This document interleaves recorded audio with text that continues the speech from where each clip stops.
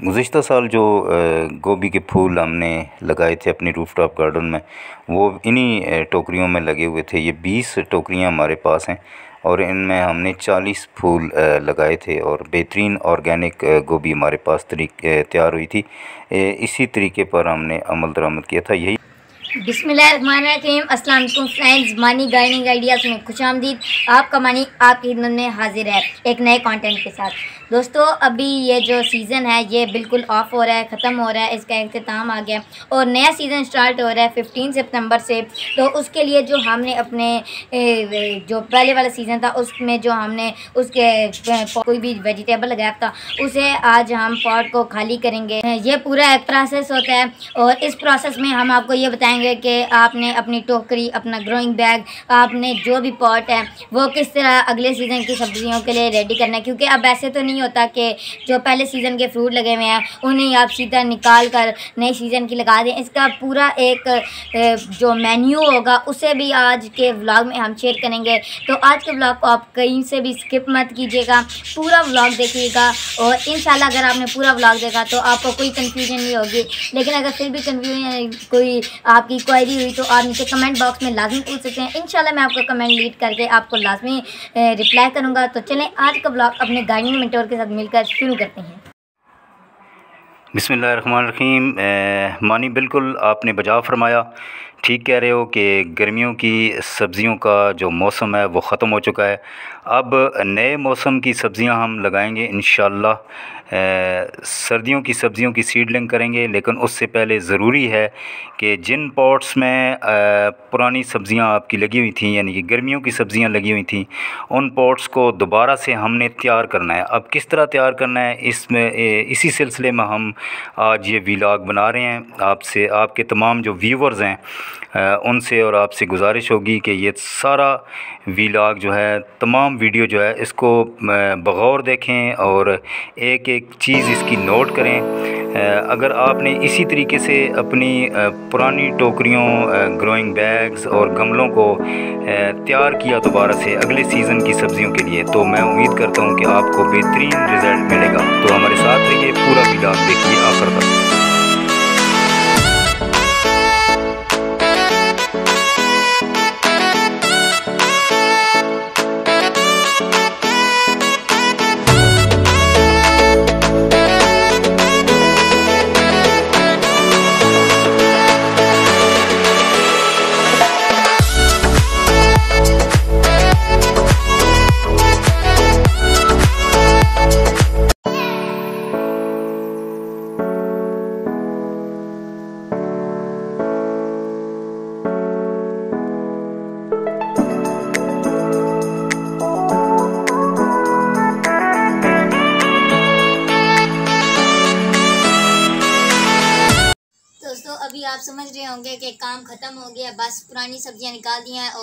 15 सितंबर को आकर नई सब्ज़ियाँ लगाएँगे और मज़े करेंगे। ऐसा बिल्कुल भी नहीं है।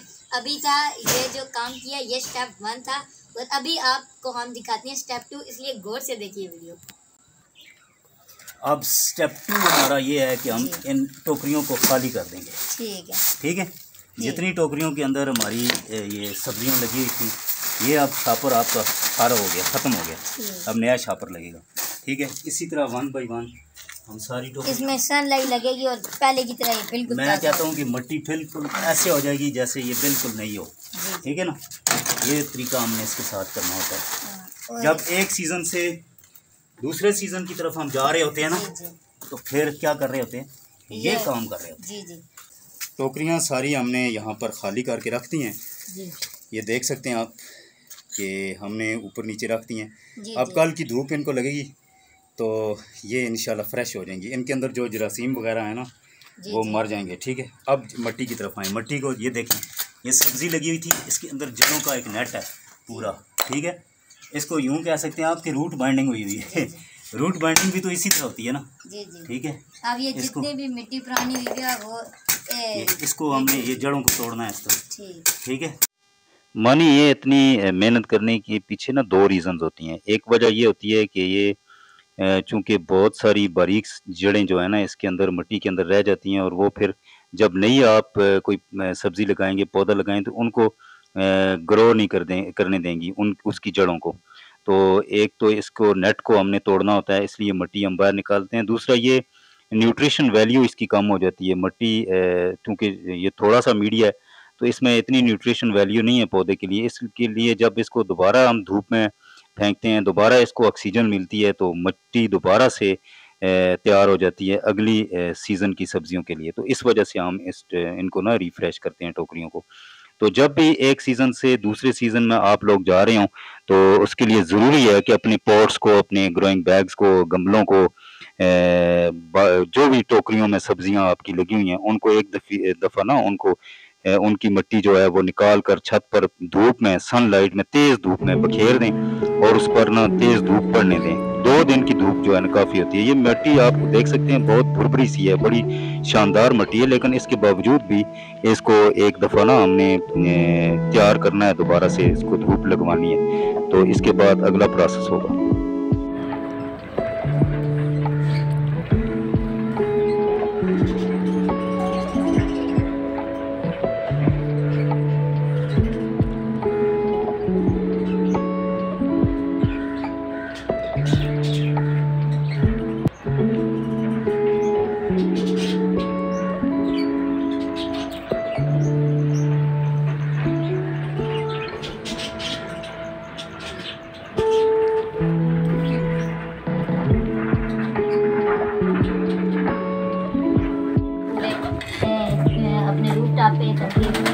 जो सनलाइट है वो अच्छी तरह पड़े और ये बिल्कुल जैसे पहले था, उस तरह ये मिट्टी बन जाए। वैसे भी आप देख सकते हैं, हमने पिछले साल यानी गर्मियों के लिए कितनी अच्छी मिट्टी तैयार की थी। और अभी ये अपनी फॉर्म में वापस आ जाए, इसलिए हमने उसको अपने पूरे रूफ टॉप पे से फुला दिया। स्टेप वन करके वो जो हमने स्टेप वन बताया था, वो करके आप बस ख़त्म। इसलिए अगर आपकी मिट्टी पुरानी हो गई है तो आप ये स्टेप भी लास्ट में ट्राई करें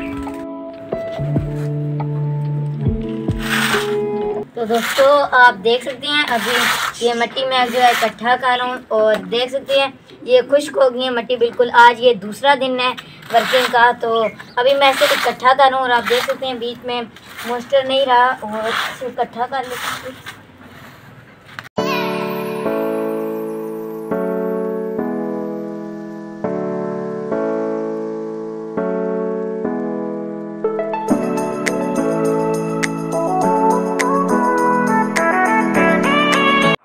अब टोकरियों को दोबारा से तैयार करेंगे हम।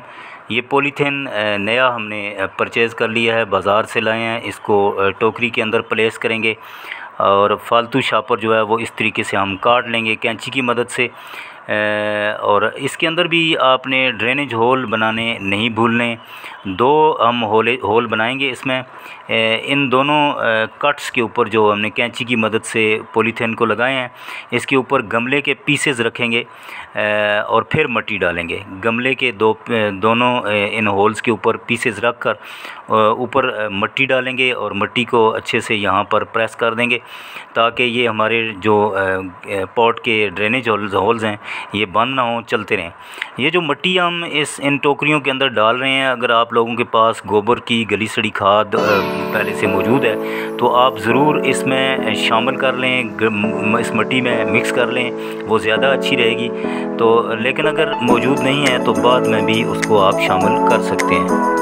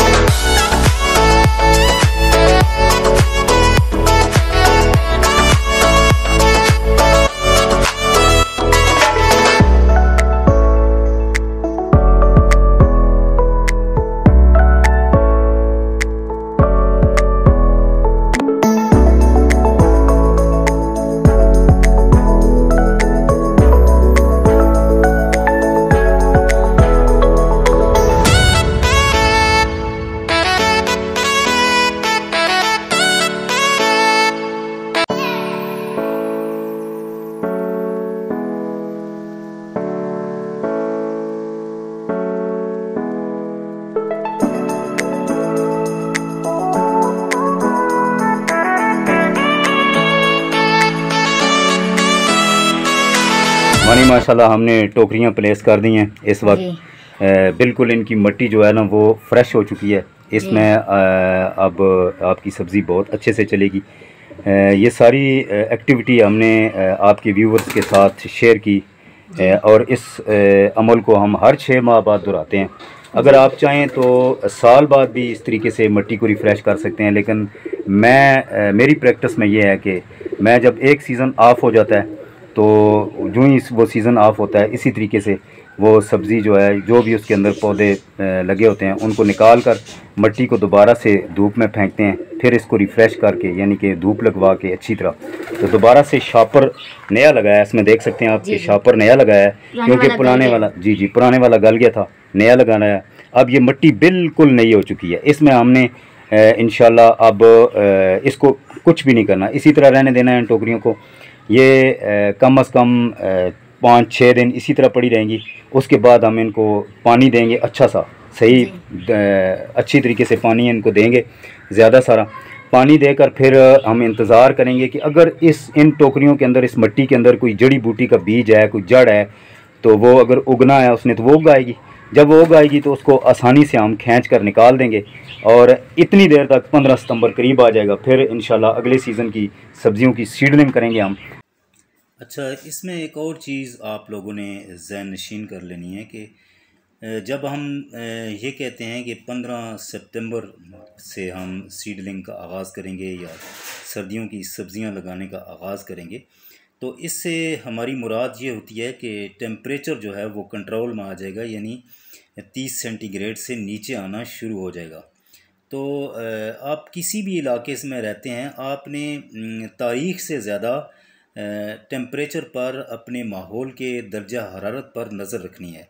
अगर पंद्रह सितंबर तक भी आपके माहौल में टेम्परेचर ज़्यादा है, गर्मी ज़्यादा है तो ऐसी सूरत में सर्दियों की सब्ज़ियाँ नहीं लगा, लगाई जा सकेंगी।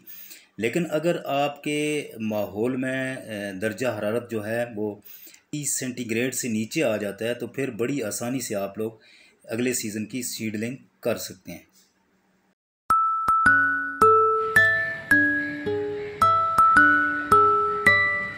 तो दोस्तों, आज का ब्लॉग मैं करूँगा यहीं पर ख़त्म। उम्मीद है आप लोगों को पसंद आया होगा और ये हमारे तीन दिन की मेहनत है। बिल्कुल हमने सब चीज़ें नई कर दी हैं। मट्टी भी बिल्कुल रिफ़्रेश हो गई है, नीचे शापर भी हमने नया लगा दिया है। तीन दिन की हमारी बहुत सख्त मेहनत थी। और हमें अब इन रिज़ल्ट मिलेगा, लाजमी रिज़ल्ट मिलेगा। हमने बस मेहनत करनी थी, अब रिज़ल्ट अल्लाह ताला के हाथ में है। अब देखते हैं हमें रिज़ल्ट मिलता है कि नहीं। और इसी के साथ आज का ब्लॉग मैं करूँगा यहीं पर ख़त्म। उम्मीद है आप लोगों को पसंद आया होगा। अगर पसंद आया तो वीडियो को जल्दी से जल्दी लाइक करें चैनल को शेयर और सब्सक्राइब और बेल आइकन लाजमी प्रेस करें। और अब मैं और मेरे गाड़ी में टोर में जितनी भी टीम है, वो मिलेंगे आपसे किसी नए वीडियो में, किसी नए कॉन्टेंट के साथ। तब तक के लिए अल्लाह हाफिज़।